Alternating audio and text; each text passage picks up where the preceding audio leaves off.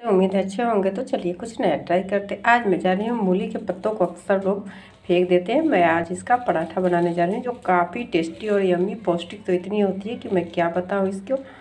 आप लोग भी अब सिर्फ़ मूली के पत्तों को फेंकना बंद कर देंगे। तो चलिए इसकी मैंने इसे अच्छे से कट कर लिया। छोटे छोटे टुकड़ों में से कट करके अच्छे से पानी से धुल लें।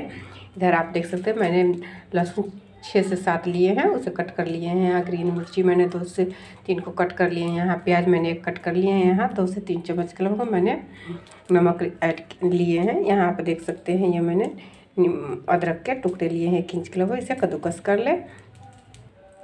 इसी कटोरी से मैंने इस वाली कटोरी से मैंने चार से पाँच कटोरी मैंने आटे लिए हैं, जिसे मैंने यहाँ पे ले लिए हैं इसमें आप एक से डेढ़ चम्मच के लगभग नमक ऐड करें इसी में। इधर आप देख सकते हैं पैन गर्म मैंने करने के लिए रख दिया आप देख सकते हैं तेल गर्म हो चुका है। सबसे पहले इसमें लहसुन डालें, उसे अच्छे से भूनें और उसके बाद में इसमें आप अदरक मैंने कद्दूकस कर लिए हैं। इसे भी इसमें डाल करके अच्छे से सारे सब्जियों को अच्छे से आप बराबर से चलाते हुए उन्हें मैंने प्याज भी यहाँ पे डाल दिए हैं। सबको अच्छे से भूने होने तक आप भूने।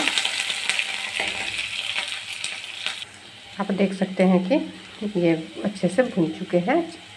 लहसुन भी अच्छे से इसमें चुटकी भर के लगभग आधी चम्मच के लगभग इसमें हींग डाल करके इसे अच्छे से भून लें। तो चलिए अब इसमें हम लोग साग को इसे डाल करके इसे धीमी फ्लेम पर अच्छे से भूनें और इसमें आधी चम्मच के लगभग नमक भी ऐड कर दें। इस तरह से पहले हल्का सा गल जाए उसके बाद में ही नमक इसमें ऐड करें।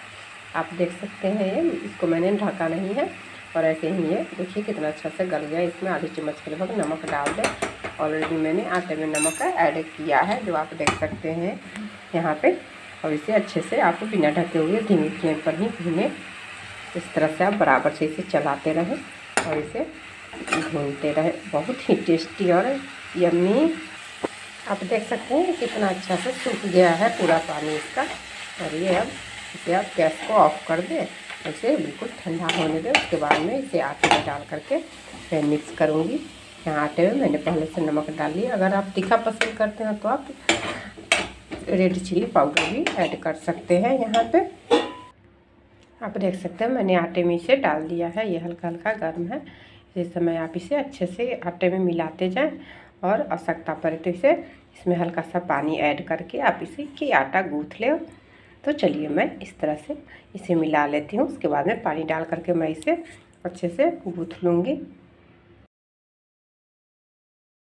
आप देख सकते हैं मैंने आटे को सान लिया है और इसको देखिए, इस तरह से मैंने दो मिनट के लिए रेस्ट पे रखा था ढक्कन डाल करके। इधर आप देख सकते हैं मैंने आटे सॉफ्ट इस तरह का आप भी बना ले और इसकी छोटी छोटी लोइयाँ काटे और इस तरह से राउंड करते हुए इस तरह से राउंड करें, थोड़े से सूखे आटे इसमें पोट करें और इसकी आप पराठे या गोल गोल रोटी की तरह भी इसे बना सकते हैं। इस तरह से को बेलन की सहायता से इस तरह से बेल लें इसे डाउन शेप में भी आप इसे डाल सकते हैं या पराठे के साइज़ का भी इसे पर से इस तरह से हल्के हल्के इसमें घी लगाते जाएँ जाएँ करते जाएँ, इस तरह से फोल्ड करें, फिर इस पर घी लगाएँ। इससे बहुत ही टेस्टी है। यकीन मानिए, इतनी टेस्टी और यम्मी होती है कि आप एक बार बनाएँगे, अक्सर बच्चे ऐसे ग्रीन वेजिटेबल नहीं खाना चाहते हैं, लेकिन आप इस तरह से बना करके देंगे तो कोई यकीन भी नहीं कर पाएगा कि ये मूली के पत्तों से बना हुआ पराठे हैं। तो चलिए इस तरह से आप भी बना लें थोड़े थोड़े आटे इस पर इस तरह से डालते जाएँ और इसे अच्छे से बेल लें। इधर आप देख सकते हैं, मैंने गैस भी ऑन कर दिए हैं। तवे गर्म हो चुके हैं। एक चम्मच घी डाल करके मैंने चारों तरफ़ से फैला लिया है। आप देख सकते हैं इस पर तेल गर्म हो चुके हैं और पैन भी गर्म है।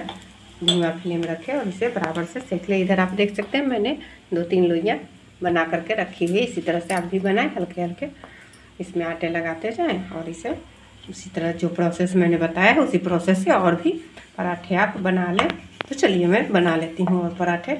इस तरह से आप इसे पलट लें और इस तरह से अच्छे से इसमें घी लगा करके दोनों तरफ़ से कोट करें। आप देख सकते हैं, एक पराठे मैंने इधर बना लिए हैं।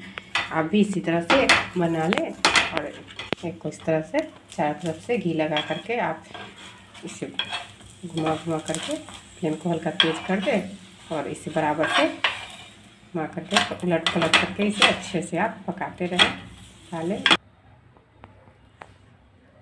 आप देख सकते हैं, मैंने यहाँ पे पराठे बना लिए हैं। आप ग्रीन चटनी के साथ, मैंने धनिया की चटनी के साथ सर्व किया है। आप चाहे तो कैचअप आम की चटनी के साथ आप इसे सर्व कर सकते हैं। कैसा लगा वीडियो? अगर अच्छी लगे तो इसे लाइक कीजिए, सब्सक्राइब कीजिए, मुझे मोटिवेट कीजिए। थैंक यू, धन्यवाद।